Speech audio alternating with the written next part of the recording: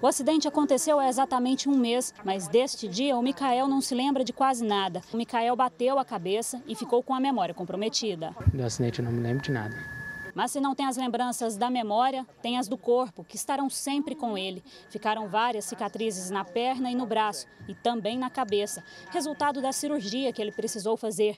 Foram 11 dias internado, sendo quatro em uma UTI. O acidente aconteceu neste ponto da Avenida Leste-Oeste, que fica na divisa do bairro Goiá com o João Braz. O motorista que testemunhou o acidente contou para a família do Micael que ele estava tentando atravessar a avenida, ele estava de bicicleta, quando um motociclista que vinha nesta direção acertou ele em cheio. Segundo este motorista, o motociclista até tentou parar e existe a marca da frenagem aqui no asfalto, mas nós não conseguimos mostrar porque aqui é muito escuro, não tem nada de iluminação, não existe nenhum poste. É um trecho bastante complicado da Avenida Leste-Oeste e eu estou até com o Micael aqui no local. É a primeira vez que ele volta aqui. Como você está se sentindo? Apesar de não se lembrar de nada, eu imagino que alguma coisa está passando no seu coração agora.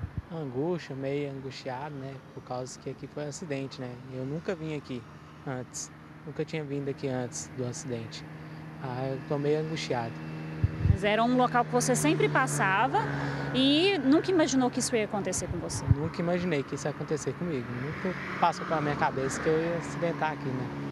Esta foto mostra o estado em que a bicicleta ficou. A irmã do operador acredita que, além da imprudência, a falta de uma sinalização adequada contribuiu para que o acidente acontecesse de forma tão grave. Não tem faixas, não tem iluminação, tanto que o SAMU demorou a localizar o acidente por falta de, de iluminação, porque é escuro lá.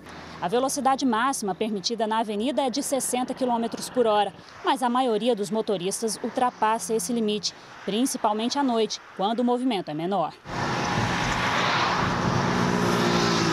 Este ciclista disse que mora na região e que há três meses também já sofreu um acidente na Avenida Leste-Oeste. Uma mulher entrou na, na, no sinaleiro vermelho para ela, né? Tava aberto para mim.